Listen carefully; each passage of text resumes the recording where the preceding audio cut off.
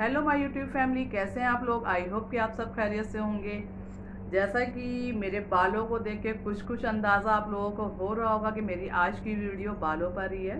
जो चीज़ें मैं खुद यूज़ करती हूँ, जिसका मुझे फ़ायदा होता है तो वो मैं सोचती हूँ कि उसे मैं आप लोगों के साथ भी शेयर करूँ। तो आज की जो मेरी वीडियो है, वो हर्बल हिना पर है। बहुत से लोगों को पता होगा कि मेहंदी बालों के लिए बहुत अच्छी होती है। लेकिन कुछ लोग ऐसा भी बोलते हैं कि मेहंदी लगाने से बाल ड्राई हो जाते हैं, बाल काफ़ी टूटने लगते हैं, वो चीज़ नहीं आती मतलब नुकसान करता है। अगर आपने मेहंदी को सही ढंग से लगाया तो उसका जो रिज़ल्ट होगा वो आपको हंड्रेड परसेंट मिलेगा। और अगर आपने गलत तरीके से लगाया तो फिर वो उसका जो है एकदम उल्टा ही हो जाएगा। कुछ लोगों का ये कहना होता है कि मेहंदी अप्लाई करने से जो करली हेयर होते हैं वो स्ट्रेट हो जाते हैं, ये भी नहीं सही है।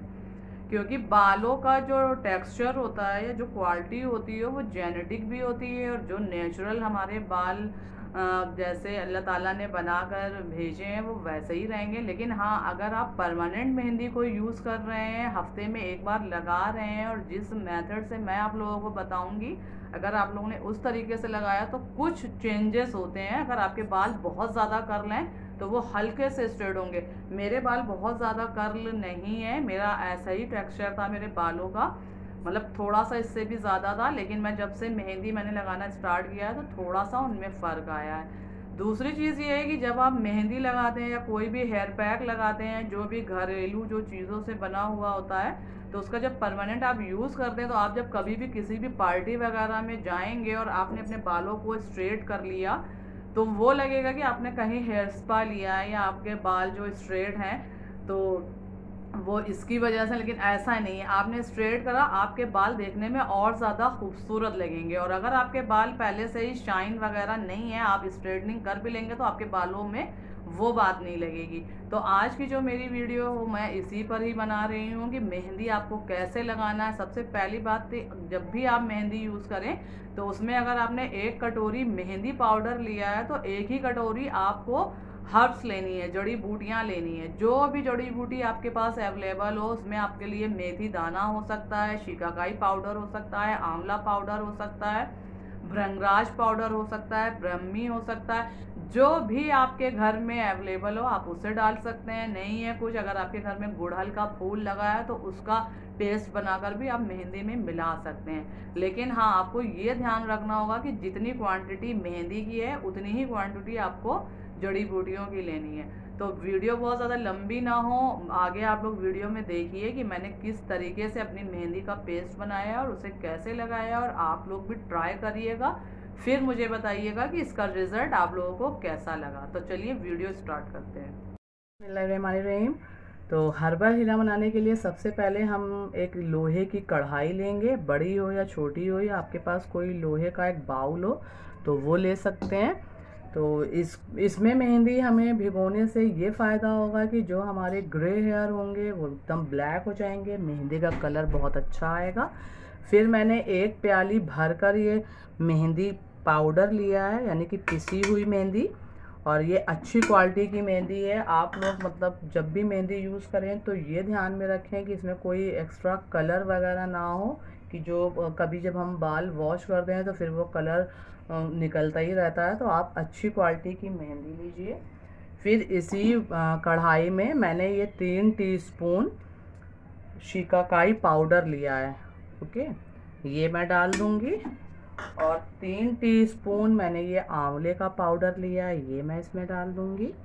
आपके पास जो भी जड़ी बूटियाँ हों, आप वो जड़ी बूटियाँ यूज़ कर सकते हैं। जितनी भी हो सके ब्रह्मी का पाउडर हो, मेथी पाउडर हो, आप वो डाल सकते हैं। मैं मेथी का यूज़ करूँगी, लेकिन दूसरे तरीके से तो अब मैं क्या करूँगी, इसको मैं एक साइड रख देती हूँ। और ये मैंने देखिए मेथी दाने को रात भर भिगो के रखा था थोड़े से पानी में। तो इस पानी को मैं बॉयल करूँगी। ये देखिए, ये पानी अच्छे से खोल चुका है। अब मैं इसके फ्लेम को ऑफ़ कर देती हूँ इंडक्शन को एक साइड कर देती हूँ और ये कढ़ाई यहाँ रखूँगी और इसको मैं छान लूँगी एक मग में। अगर आप लोग चाहें तो मेथी को पूरा पीस भी सकते हैं। आ, मुझे थोड़ा सा मतलब ये लगता है ना कि इसकी भूसी बालों में आने लगती है तो मैं इस तरीके का आ, पानी बना लेती हूँ मेथी का। इसके जो भी गुण थे वो इस पानी में आ चुके हैं क्योंकि ये ओवरनाइट फूल चुकी है मेहंदी। अब मैं इसी मिक्सचर में ये एक कॉफ़ी का पाउच मिला दूँगी। अगर आप लोगों के पास पाउडर नहीं है आंवला शिकाकाई या रीठा का तो आप अगर साबुत है तो उसे भी ओवरनाइट भिगो कर सुबह पीस लीजिए, उसमें मेथी भी मिला दीजिए, ब्रह्मी हो, उसे पीस लीजिए। अब मैं इसी पानी से इस घोल को घोल लूँगी। सॉरी मिक्सचर का घोल बना लूँगी।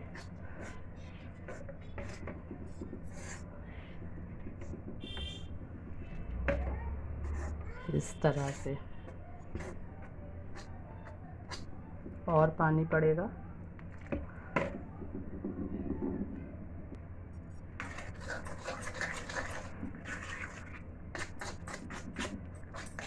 ये देखिए, घोल मेरा अभी थोड़ा सा गाढ़ा है।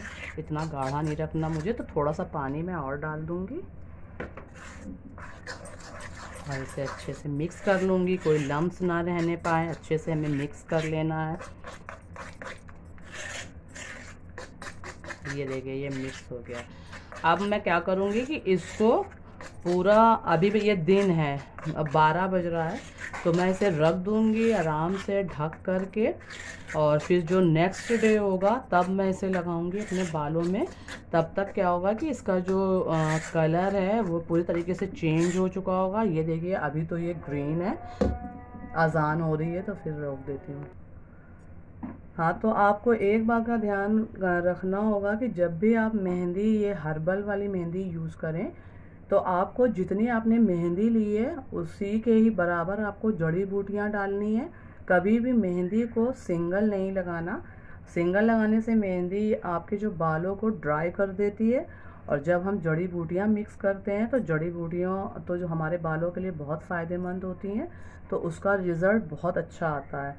तो अब मैं क्या करूँगी? ये देखिए मेरी रेडी हो चुकी है मेहंदी। अब मुझे इसमें कुछ भी नहीं मिलाना। अब जब नेक्स्ट डे मैं मेहंदी अप्लाई करूँगी तो इसमें मैं एक अंडा फोड़ के डालूँगी और उसे अच्छे से मेहंदी में मिक्स कर लूँगी और फिर अपने बालों में अप्लाई करूँगी।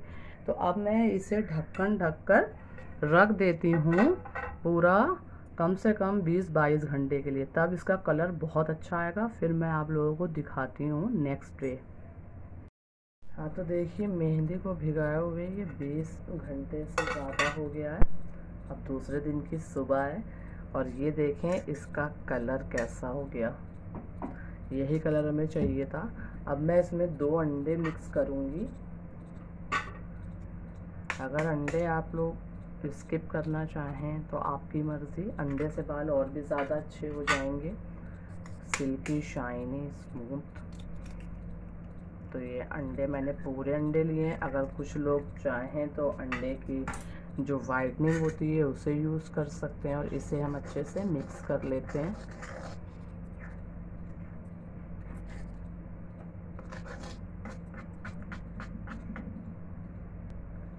ये देखिए, अंडा मैंने मिक्स कर लिया है। अब मैं इसमें टू टीस्पून शुगर डालूँगी, शक्कर।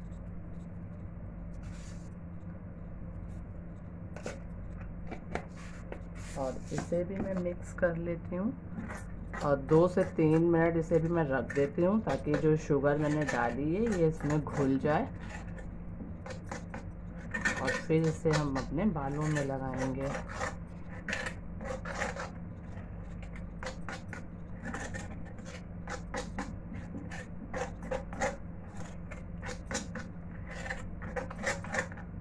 ये देखिए ये मेहंदी मेरी रेडी है, ये है हर्बल हिना इसे जब आप यूज़ करेंगे, तब आप इसके फ़ायदे देखिएगा। तो अब मैं पाँच मिनट बाद इसे अपने बालों में लगा लेती हूँ। देखिए, मैंने अपनी हिना लगा ली है, बहुत अच्छे तरीके से। सारी साइड पर लगी है। और इसे अब मैं लगा कर रखूँगी कम से कम तीन घंटे। क्योंकि सुबह उठकर सबसे पहले मैंने अपने बालों में ये हर्बल हिना लगाई है। अब मैं सारे काम अपने फिनिश कर लूँगी ताकि जितनी देर हो सके ये जो हिना है मेरे बालों में रहे, इसमें जो मैंने जड़ी बूटियाँ यूज़ की हैं, वो अंदर तक जा सकें और अपना रिज़ल्ट दिखा सकें।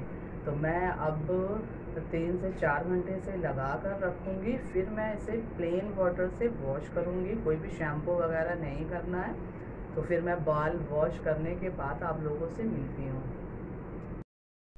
तो ये देखिए, मैंने अपने बालों को प्लेन वाटर से वॉश कर लिया है। काफ़ी ब्लैक नज़र आ रहे हैं। कोई भी मेरा जो हेयर है, वो आपको ग्रे नहीं नज़र आएगा। और काफ़ी शाइनिंग भी कर रहे हैं। मैंने अभी प्लेन वाटर से इसे वॉश किया है। अब जब ये मेरे बाल सूख जाएँगे, तब मैं इसमें कंघा करूँगी और रात में सोते वक्त मैं इसमें ऑयलिंग करूँगी, बहुत अच्छे से। फिर नेक्स्ट डे में शैम्पू करूँगी।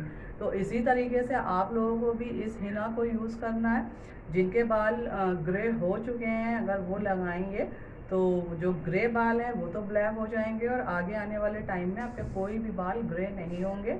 बाल आपके मज़बूत होंगे हेल्दी होंगे शाइनी होंगे, जो बहुत ज़्यादा मायने रखता है। तो इस हिना को आप लोग हफ़्ते में एक बार ज़रूर यूज़ करिए और फिर इसका रिज़ल्ट देखिएगा। जब आप यूज़ करेंगे, तब आपको पता चलेगा तो मेरी अगर ये वीडियो आपको पसंद आई हो तो प्लीज़ मेरे चैनल को लाइक करें, सब्सक्राइब करें, बेल आइकन को ज़रूर प्रेस करें ताकि आगे आने वाली वीडियो की नोटिफिकेशन आप लोगों तक ईजिली पहुँच सके। अब मैं चलती हूँ, फिर नेक्स्ट वीडियो आप लोगों के लेके आऊँगी नॉलेज वाला। तो तब तक अपना ख्याल रखें, दुआओं में याद रखें। अल्लाह हाफिज़।